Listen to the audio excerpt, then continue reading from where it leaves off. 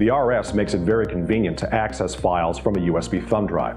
I've got a USB thumb drive right here. I'm going to insert it in one of the front USB ports on the RS. My USB drive will light up, and then I can access the file commander to get access to those files. Touch the File Viewer button, and it will open the file commander, and from here there are two places to access the USB thumb drive. The first is on the left-hand menu where it says USB storage, and there's also a USB storage button right here on the main screen. And when you touch it, it will give you access to the files.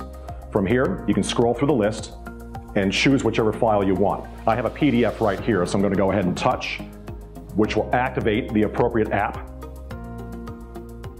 and from here, you can access the embedded annotation tools to annotate over the content. Choose the top button, the annotation tools will appear, select the color and the thickness that you desire, and then annotate.